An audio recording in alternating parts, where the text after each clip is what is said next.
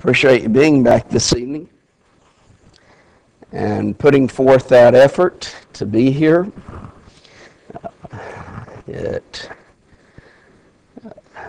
it's something we all need, but uh, when we realize the value of our soul, it is something that we will want to be and want need in a sense the encouragement to come because we will have the desire to come and we will it would be difficult to keep us away when we have that realization of the value of our soul and the importance thus of coming together to worship God.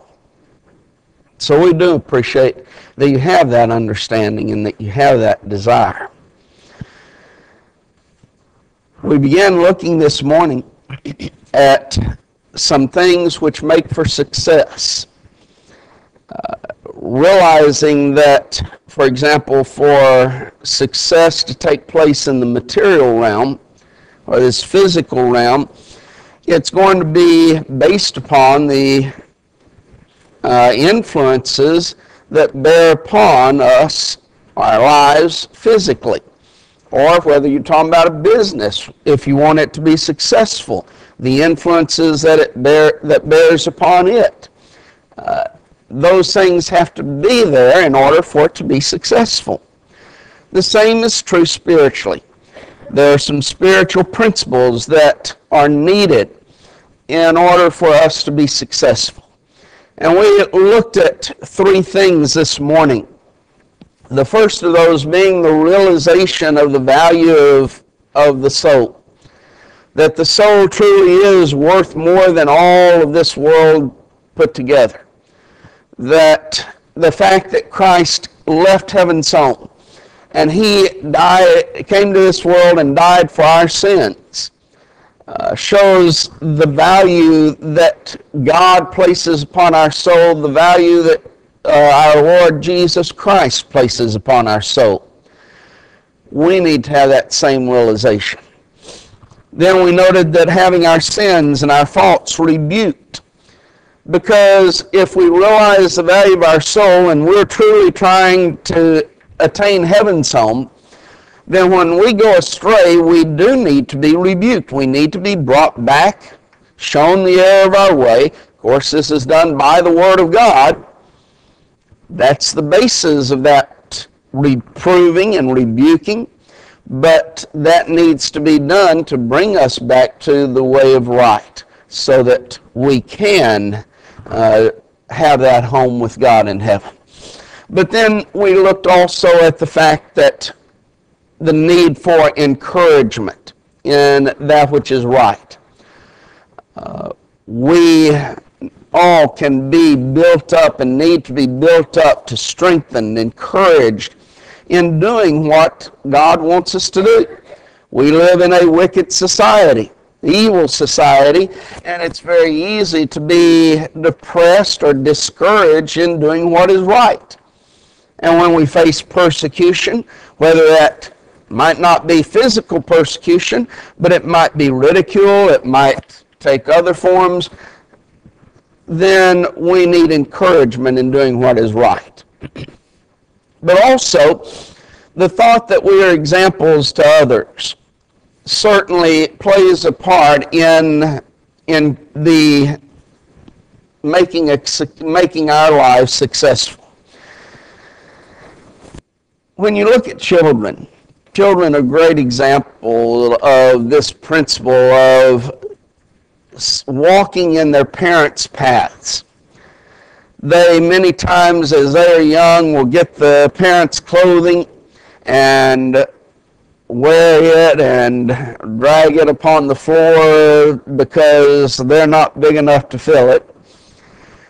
Put their feet in the shoes of their parents and uh, see that clogging, clopping around because they can't fill the shoes up, and so their small feet usually just slip out of it. They're trying to emulate their parents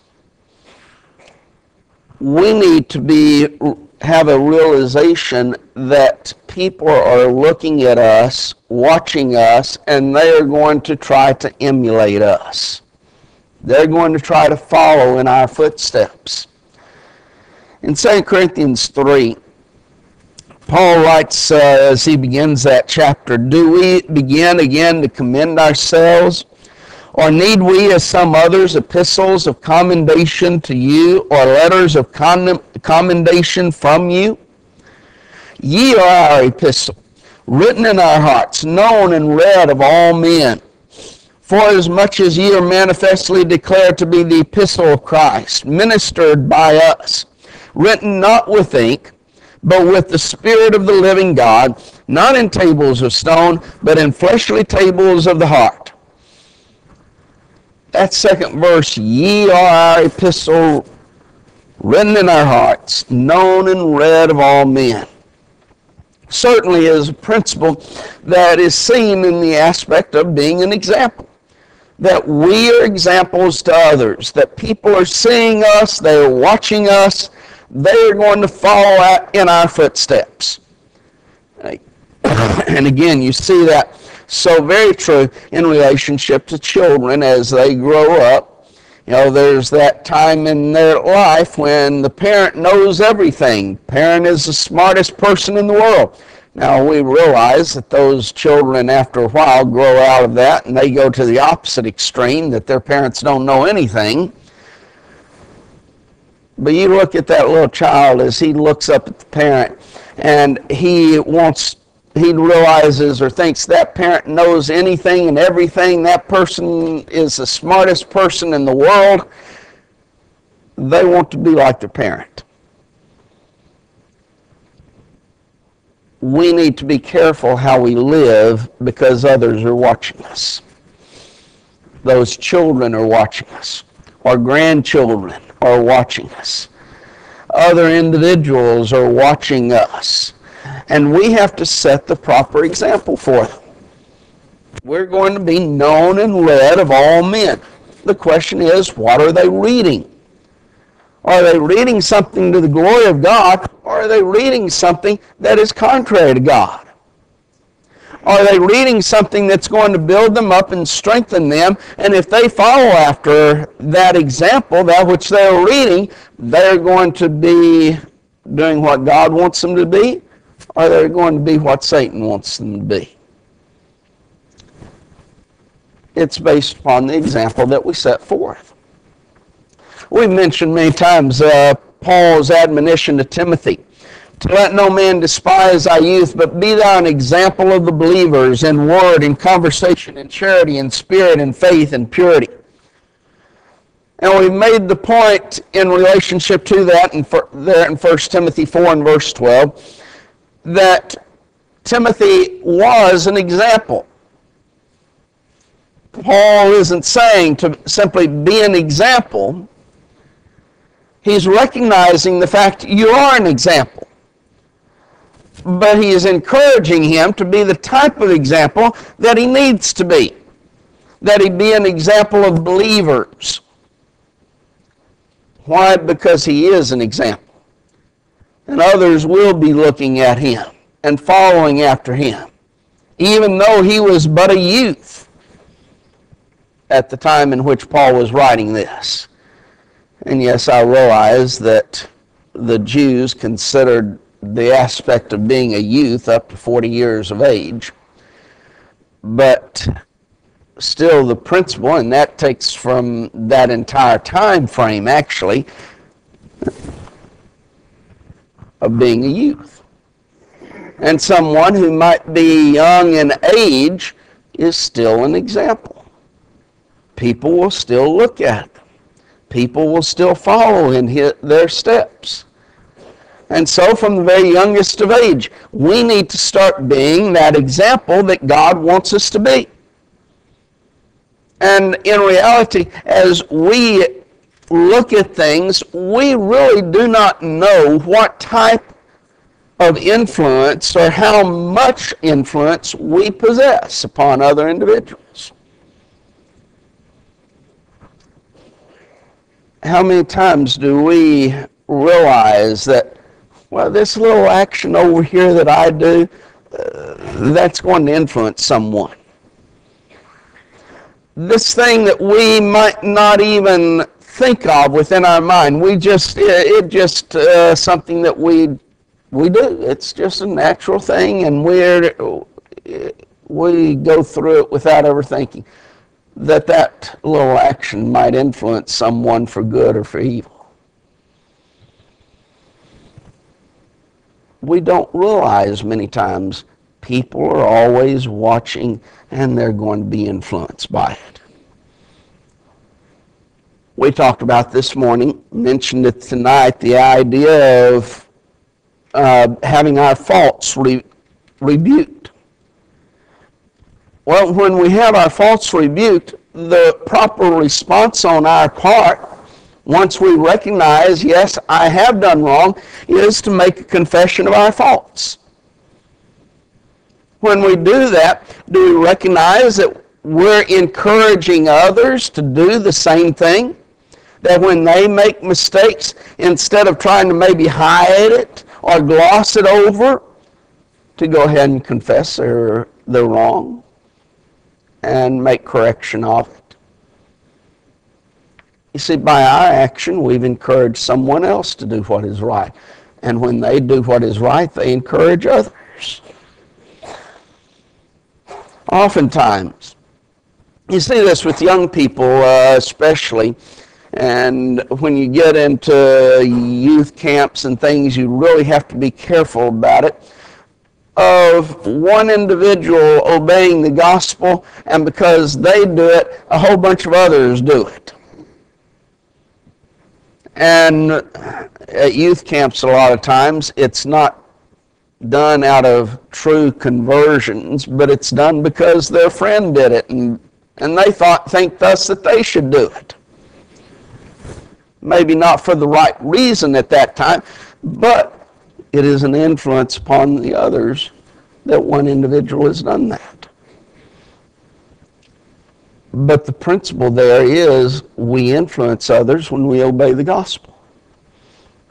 By our attendance here tonight, we're influencing people in the world. We're influencing each other to be here and encouraging one another to be here.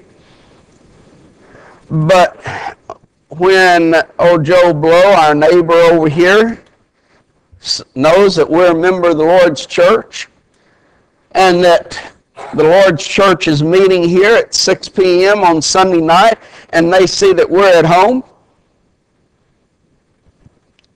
what have we done? Well, we've been an example, but we've been an example in a negative way.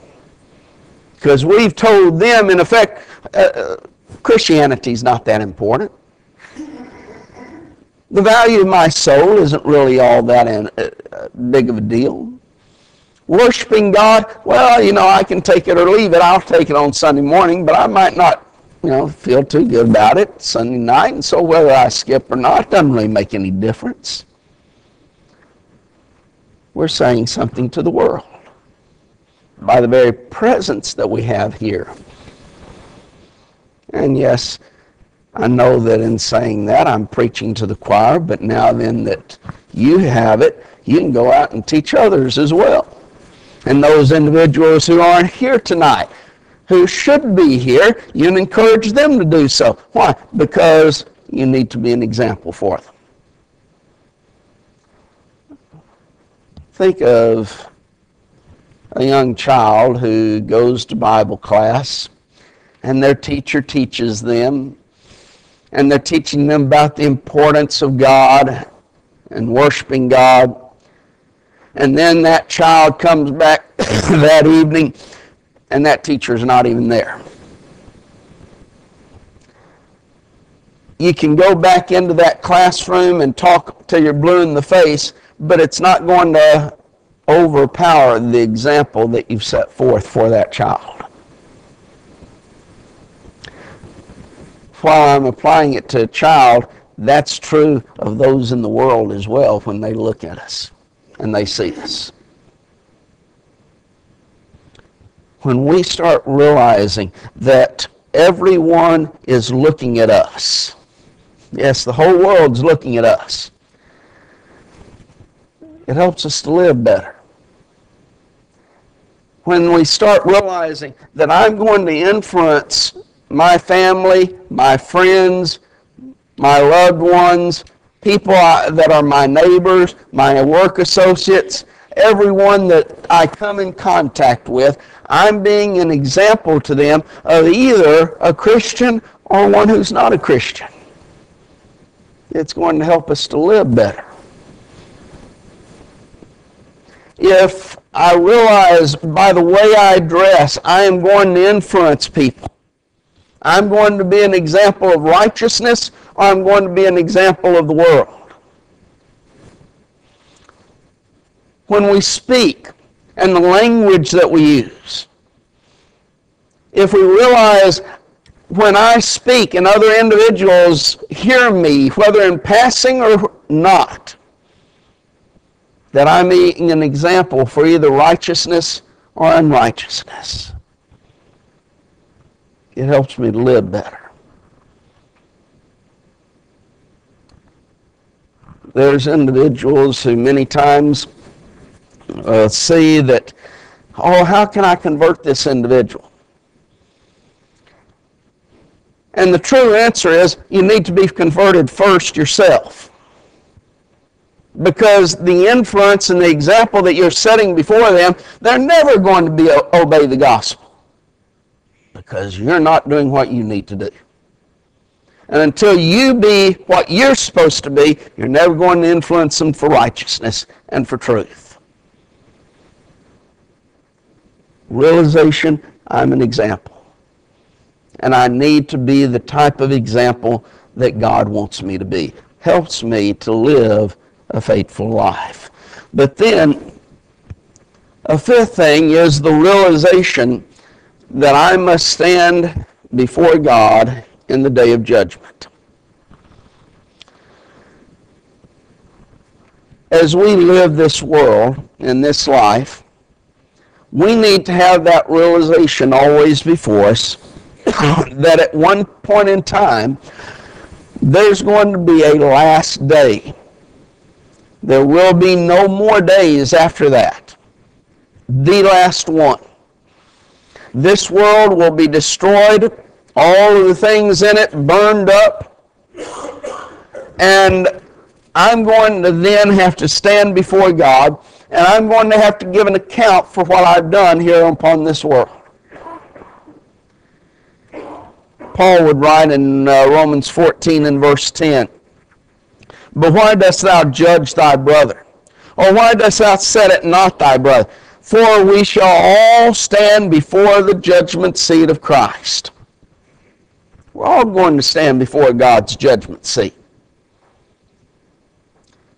And as he write to the Corinthian brethren in 2 Corinthians 5, verse 10 and verse 11, that we must all appear before the judgment seat of Christ, that every one may receive the things done in his body according to that he hath done, whether it be good or bad. Knowing therefore the terror of the Lord, we persuade men. But we are made manifest unto God, and I trust also are made manifest in your consciences. We will stand before God in judgment. And we will give an account of the things that we've done in our bodies according to that we have done, whether it be good or whether it be evil. Our lives if you will, will be placed on one side of the scales and God's Word on the other side. And if our lives measure up to that standard of God's Word, we will be given that eternal home with God in heaven. If they don't, then we're going to be judged lacking. But we're going to be judged by what we do. Now, when I realize that all of my actions, all of my words, everything that I do is going to be laid open before God. And I realize judgment is not a period of rehearsing everything that I've done in my body. That's a, a wrong concept of the judgment. But I'm going to be judged by everything that I've done in my life. That's the whole point. And the, the judgment is very simply the passing of sentence. You've been found wanting or you have been faithful. But what is that based on? It's based upon the life that I live here in the now. If my actions have measured up to that standard of God's Word, or if they have not. If I've done what God has authorized me to do within the Scriptures, or whether I've done things that God has not authorized, and thus are sinful. When I start realizing that I'm going to be judged based upon everything that I do, everything that I say, then we start seeing and viewing our life in a different way. It's going to encourage us to and remind us to do things that God wants and not things that are contrary to Him. When I realize when I'm out there in the world and I get upset and angry and might be tempted to say something that we should not, and I realize, is that the way that I want to meet God? Remember, I'm going to be judged by that. then isn't that going to help us not to do those things and say those things that are wrong? See, keeping that ever before our minds going to help us to live and to do what God wants us to do. It's going to help us to live the type of life that He wants us to live. When we push that back out of our minds, though, then those times in which temptation comes our way, it's going to be easier to fall into that temptation to commit sin within our life. Why? Because I'm no longer thinking that of the judgment and the fact that I'm going to be judged by what I do within my life. I'm now living for the here and now instead of the judgment. But if we think in relationship to everything that we're doing, how we're acting, and how we're talking, uh, every aspect of our life. Is this how I want to meet God? If Christ should come right at this point in time, and I'm judged by this action, is that how I want to be judged? Is that how I want God to judge me in my life? That's going to help us remind us you better live the type of life at all times to be prepared for that judgment. Thus, a realization that I'm going to stand before Him and I'm going to give an account of what I've done in my body. It's going to lead me and help me to live the type of life that God wants me to live. But also, in connection with that, the realization that eternity is going to be spent in heaven or in hell is going to help us to live faithful lives.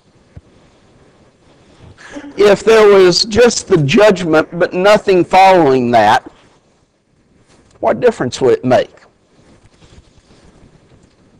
What would it matter if I live in a way that God approves or I live in a way that God does not approve?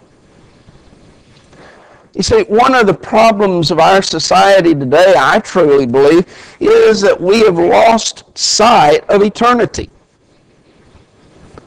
and uh, specifically within that eternity, the aspect of punishment, an eternity in hell, where there will be torment and uh, forever and ever. There are more and more religious groups, and they've made their way into the church as well, who no longer believe in the hell of the Bible. Oh, they say they believe in hell, but not the hell that's described within the Bible. Their hell is, well, you go out of existence. And that's all it is. If there's no punishment for the wicked, then what's the deterrent of living sinful? When we realize there is a hell over here that and that hell is a hell fire that, that God is going to place those in that are not obedient to his will and they're going to be tormented day and night forever and ever. And it's described as a place where the worm dieth not and the fire is not quenched. Eternal blackness and darkness. And yet an everlasting fire of torment. When I realize that's an eternity in that, and there's not going to be any, any escape. And I turn over to the rich man and Lazarus, and I see how that Lazarus was carried into Abraham's bosom, but there's that rich man with all of his riches of this world that he possessed, yet he would plead with Abraham, Oh, just let Lazarus go and get a little bit of water and just touch the tip of my tongue with that water because I'm tormented in this flame. All the riches that he had in this world could not quench the flame and the torment that he endured. Now, when I think about that, I don't want to go there. I don't want to suffer that way a suffering that, and do I believe that it is a literal fire? Well, it may be, but I really think that God is using a figure of the greatest pain that man knows, and that's fire. And he's saying that's just a touch of the torment and the pain that you're going to be suffering through all eternity. And how many of us want to be burned? I mean, is that top on the list of your actions that you desire? Well, of course not. It's probably there at the bottom of the list if you had to list things that you do not want. That's number one. And yet there's an eternity of that that's awaiting if we're not living the type of life that God wants us to live. Now, when I realize that, and I really stop and contemplate an eternity of torment, such torment that man today just cannot imagine, the very worst pain that could be imagined by man. And there's an eternity of it. It never ends. I don't want to go there. I don't want to suffer that. And yet, some people are almost proud. Yeah, I'm going to bust the uh, gates of hell wide open. Well, just wait until you get there, and then you'll have a different matter. When I really think about eternity and I think about hell, I want to avoid it. But when I also turn and picture heaven and all of the beauties of heaven, I, I think uh, if you look at, for example, in uh, 2 Peter, uh, Peter describes heaven from a negative standpoint. And I say that from uh, the aspect that it is uncorruptible, it's undefiled, it fades not away. Those are negative in nature. Why? Because he's taking a picture of what man knows which is decay, sin, fading, beauty. And he's saying heaven's not like that. That heaven will retain all of its beauty, all of its loveliness. It's going to smell, and the aroma of it is going to be uh, new at all times. It's never going to go away. And he thus presents heaven from the standpoint it's the opposite of what we know here in this world. Because everything in this world corrupts, it decays. We're associated with sin. We don't really know what would a world be without sin. And yet, that's what heaven is. Why? Because there's not words enough that can describe the beauties of heaven for us. And so he has to take what we know and say it's not like that. And so God has presented to us a picture of the beauties of heaven. And he says, Here's what's waiting for you if you'll remain faithful to me. The most beautiful place that you could ever imagine. And it's yours if you will live faithful. There's the two eternities heaven and hell beauties and torment. And when I stop and think that my actions here upon this earth is going to determine which place I'm at, which one I'm going to spend eternity in, that helps us to live the type of life that God wants us to live. And then one last thing and that is that consciousness of the fact that this day might be the last day that I have here upon this earth. Job would state in the 14th chapter and verse 1 that man that is born of woman is a few days and full of trouble. It's a few days. How many? I don't know in 2 Samuel 14 and verse 14, he says, For we must needs die, and are as water spilt upon the ground, which cannot be gathered up again. We need to die. We recognize we will die. And that's what Solomon would write in Ecclesiastes 9 and verse 5 For the living know that they shall die. He adds, The dead, the de- know not anything, neither have they any more reward, for the memory of them is forgotten. But the living, you and I, who are here tonight, realize that we will die. We must needs die. That it is appointed unto man once to die, but after this the judgment, Hebrews 9 and verse 27. And our life here upon this earth, it consists of years, decades, maybe a, a century, and then we pass away. And we don't know when we're going to die. We might, before the end of this service, suffer a massive heart attack or a stroke and we're dead. We don't know.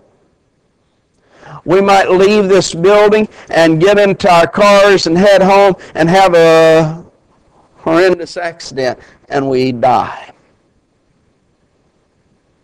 We might live for another 10, 20 years or more. But when I stop and think, this day, today, might be the last day that I live here upon this earth. it makes us stop and think in relationship to the way in which we live that we better live for God. If you knew that today was the last day that you would live, what would you change in your life today? Or if you knew that this week and the end of this week on Saturday that your life is going to end, how would it change your life? How would you live this week? What changes would you make in your lifestyle as what you do, how you live, what you say? And yet, that's the way we need to be living, and with the realization that, yes, each and every day might be our last day here upon this earth. And then we need to ask ourselves, are we ready? Because we will stand before God in judgment, and there is an eternity of heaven and hell waiting. And we're going to spend eternity in one of those two places. if we died tonight, if we died before midnight tonight, where would you spend your eternity? Where would it be? Would you hear those words by Jesus, Well done, thou good and faithful servant, enter into the joys of thy Lord?